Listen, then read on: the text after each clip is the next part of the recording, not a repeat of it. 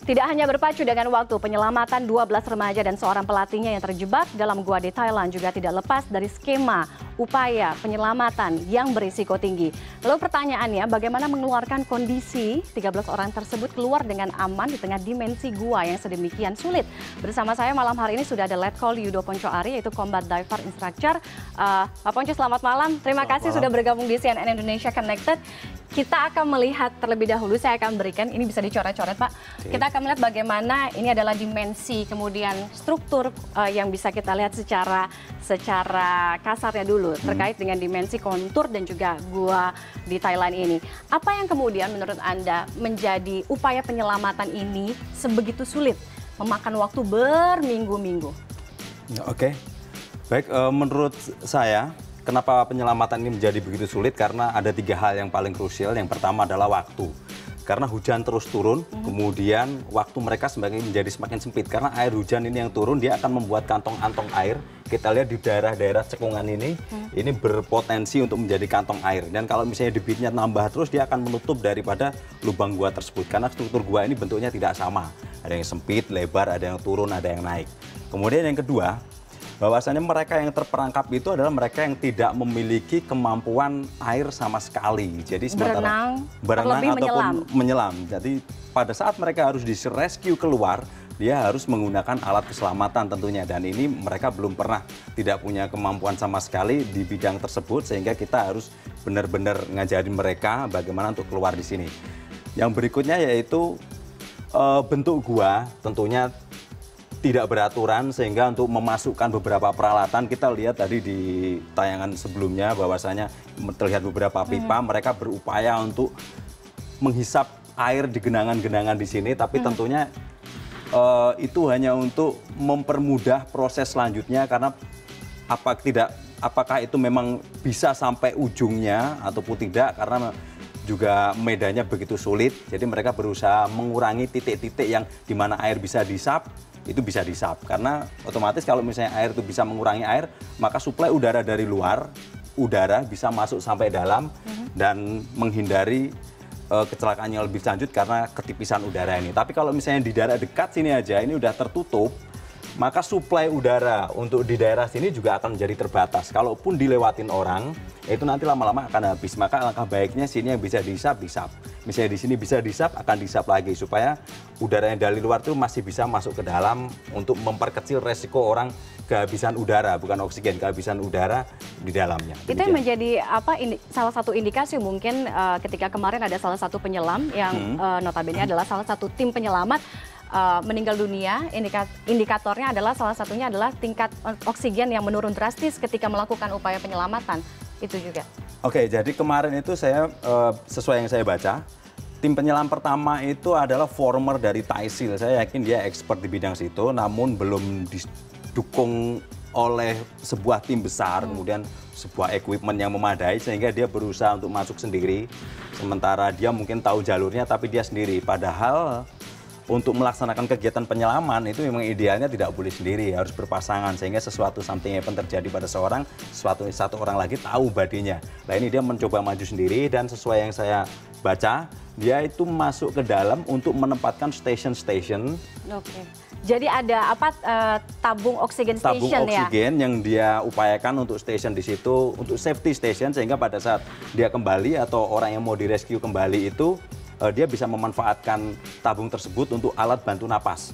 Namun dia tidak memperhitungkan, entah bagaimana tidak memperhitungkan uh, konsumsi air ada berapa di dalamnya sehingga pada saat dia kembali dia kehabisan. Itu yang saya baca. Oke, ini kan uh, apa uh, 13 orang ini posisinya ada di sini. Ada Artinya di mereka 4 km jaraknya hmm. dari pintu dari masuk. Mulut gua, dari ya? mulut gua, dari hmm. pintu masuk gua.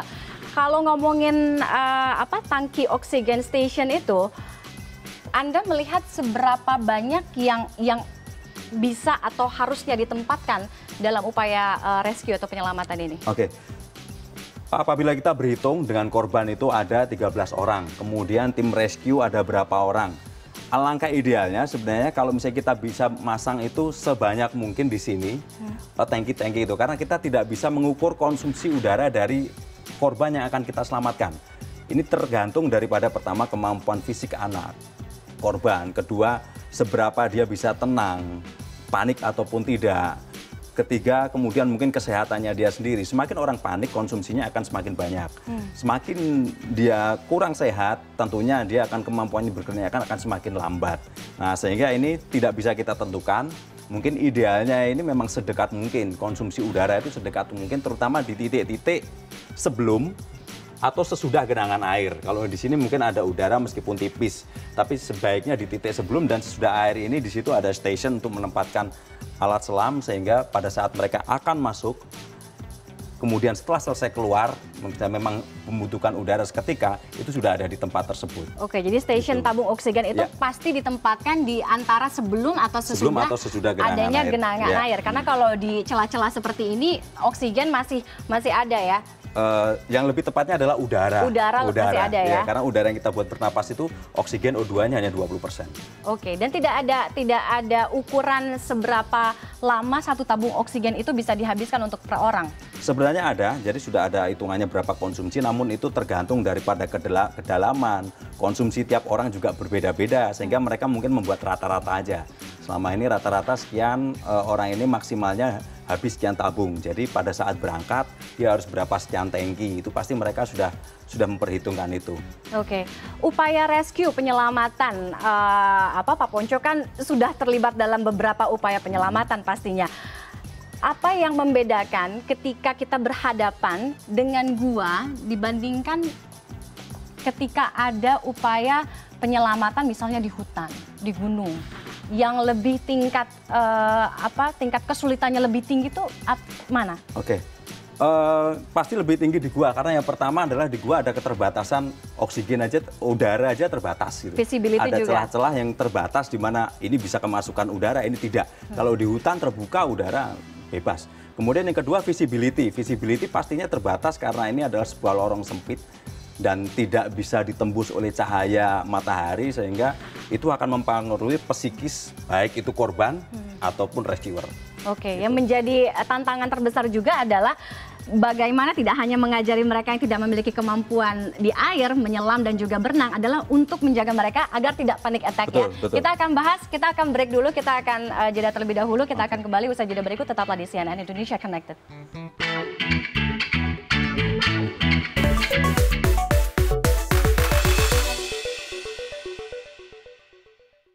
Pak Ponco ini adalah hari yang membahagiakan kita akhirnya mendengar kabar semua berhasil dikeluarkan dengan selamat. Itu yang kita nantikan. Anda tadi ada sedikit berbisik sama saya untuk uh, penghargaan untuk Thai Seals. Ya, seperti yep. apa? Uh, saya punya beberapa sahabat di Thai Seal kebetulan saya pernah berlatih di sana di Taisil di camp mereka. Jadi saya tahu bagaimana mereka expertnya mereka. Mereka juga pernah di uh, menyekolahkan beberapa personilnya di US Navy SEAL. Saya tahu beberapa kemampuan mereka. Saya yakin ini merupakan penyelamatan yang sukses. Appreciate dari kami saya pribadi untuk rekan-rekan di Taisil. Tidak semua negara punya frogman tapi setiap frogman pasti punya bounding. Uh, brotherhood between frogman to frogman. Dan appreciate dari saya pribadi untuk rekan-rekan Taisil. Oke, kalau tadi juga kita lihat dari gambar Anda melihat uh, menangkap bagaimana hmm. wajah panik ya. hmm. ya. Untuk berada di tempat yang demikian dengan kontur dimensi yang sulit, uh, rasa panik itu pasti ada. Bagaimana agar menjaga agar mereka-mereka ini tidak panic attack, tidak mendapatkan uh, apa uh, panic attack karena kan pasti kalau misalnya tingkat oksigen, tingkat udara yang kemudian terus turun, apalagi uh, gelap gulita semuanya dengan dengan keadaan lingkungan yang sama sekali tidak pernah mereka bayangkan sebelumnya. Oh, Oke, okay. jadi para rescuer saat itu juga harus membangun bonding komunikasi yang baik dengan mereka yang akan diselamatkan karena keselamatan korban dan rescuer sendiri juga tergantung seberapa baik kerjasama tim antara keduanya ini. Untuk itu pasti dia akan memberikan pelajaran, uh, training singkat bagaimana dia untuk keluar sama-sama membangun bonding tim yang bagus supaya sama-sama bisa keluar mereka dengan selamat. Dan apabila kita lihat nggak semuanya dari jalur ini mereka menyelam, pasti uh, ada menyelamnya, kemudian ada jalannya, ada merayapnya, dan ini pasti komunikasi harus dibangun dengan baik, meyakinkan bagaimana si korban diselamatkan oleh rescuer. Itu komunikasi harus dibangun terus meyakinkan di korban bahwasanya mereka harus selamat sama-sama. Itu merupakan uh, sebuah power yang di luar itu semuanya bisa menyelamatkan mereka. Oke, okay. mengajari di tingkat kesulitan yang uh, sedemikian besar, apalagi dalam keadaan panik gitu ya. Apa yang harus dipersiapkan? Tadi kan kalau misalnya kita lihat uh, satu satu korban atau satu mm -hmm. anak satu orang ini akan didampingi oleh dua penyelam. Tapi kan untuk mengajari mereka ini kan bukan menyelam menyelam atau diving yang seperti mm -hmm. kita tahu belajar snorkeling atau menyelam mm -hmm. di laut. Ini kan uh, yang kita hadapi adalah di dalam gua. Mm -hmm. Apa yang harus dipersiapkan? Biasanya alat-alat apa saja yang di, di, digunakan? Oke, okay, basically karena ini uh, masih bisa menggunakan peralatan scuba, jadi yang digunakan adalah scuba set. Namun yang akan kita perkenakan, yang akan kita kenakan alat scuba set ini pada orang-orang yang sama sekali masih belum pernah atau belum bisa menggunakan peralatan tersebut. Untuk itu saya lihat tadi uh, saya sempat baca bahwasanya mereka contoh kalau biasanya penyelam itu menggendong alatnya sendiri, ini saya tadi uh, dengar bahwasanya tankinya dibawakan oleh rescuer. Kemudian mereka normalnya, normalnya penyelam scuba akan menggunakan uh, masker, masker yang hanya menutup mata dan uh, hidungnya karena ini ya, Facebook mas ya. Uh, normalnya ini, normalnya oh, normal digunakan ini. ini karena hanya menutup mata dan hidungnya karena penyelam scuba normalnya bernapas dengan mulut. Namun ini mereka anak-anak uh, ini mereka bukan seorang penyelam jadi menggunakan uh, alat bantu nafas yang lebih aman lagi yaitu full face mask. Hmm. Di mana dengan menggunakan full face mask ini korban dapat bernapas bebas mau dari mulut mau dari hidungnya dia bisa bebas bernapas. Dan yang paling penting adalah meyakinkan korban untuk tidak panik. Hmm. Karena yang pertama pasti lingkungan biasa di sini kemudian masuk air pasti orang berbeda ini bukan lingkungan hidup saya. Pasti memancing kepanikan. Yang kedua gelap dari ya. dalam air gelap pasti panik. Nah, semakin panik, semakin konsumsi udaranya akan banyak. Hmm. Jadi mengusahakan supaya tidak panik sehingga dikawal oleh dua orang, yang satu di depan, yang satu di belakang sambil membawakan tankinya. Kalau semisal mereka ini penyelam biasa, alat selam scuba ini dilengkapi oleh octopus. Jadi satu mode face untuk orang lain itu bisa menggunakan itu. Tapi karena ini mereka dianggap orang yang tidak bisa sama sekali, maka digunakan full face mask. Dan kenapa dua? Karena basicnya penyelam rescuer itu harus berpasangan. Jadi pada saat dia masuk dia dua orang, keluar dia juga dua orang itu sambil Jadi rescuer tidak mungkin sendiri tidak ya? Mungkin nggak mungkin akan jalan tidak sendiri mungkin ya? Tidak akan jalan dia juga sendiri. akan didampingi oleh temannya ya, ya pasti oleh ya? badinya pasti. Oke, okay. tadi ri, ri, kita kita berbicara soal risiko. Risiko yang akan terjadi selain panic attack adalah hmm. apa yang Anda lihat risiko uh, yang terjadi dalam sebuah upaya penyelamatan? Artinya untuk orang yang dalam kondisi sudah berminggu-minggu dalam gua, apalagi mungkin dalam satu minggu pertama tidak mendapatkan pasokan makanan, susah kan untuk mendapatkan pasokan makanan, uh, baru di minggu berikutnya hipotermia itu juga menjadi salah satu uh, apa kekhawatiran ya? Ya pastinya. Selain memang kondisi itu sendiri, kemudian kondisi dari orang yang kita selamatkan ini pasti lemah setelah sekian hari dia berada di tempat tersebut tanpa suplai makanan, kemudian juga uh, tingkat kesehatannya orang ini pasti rendah sehingga kita membawa seseorang yang dengan tingkat kesehatan di bawah itu kita bawa melewati medan yang susah medannya ada yang menanjak, harus merayap, kemudian menyelam. Ini pasti kita butuh ekstra, ekstra pengawasan, ekstra membantu mereka. Dan panik itu sendiri karena tidak menguasai alat dan medan serta lingkungan ya pasti kondisi fisik mereka lemah saat itu itu yang menjadi tantangan besar. Oke, apa yang terjadi di uh, Tam Luang di Gua Tam Luang di Thailand ini bisa menjadi pembelajaran untuk kita. Kita lihat di Indonesia ini kaya mm -hmm. juga akan gua. Mm -hmm. uh, gua tidak hanya bahkan gua sekarang juga jadi ada telusur wisata, telusur gua. Apa yang bisa kita petik atau kita ambil pelajaran untuk mereka-mereka yang yang biasa atau mungkin mau uh, wisata telusur gua. Kalau misalnya kita lihat kayak di musim hujan gitu, artinya kan akan uh, ada risiko kemungkinan gua tersebut terendam air segala macam Oke, untuk di Indonesia sendiri ada beberapa macam gua. Gua yang memang berada di bawah permukaan air, jadi gua itu full air di dalamnya.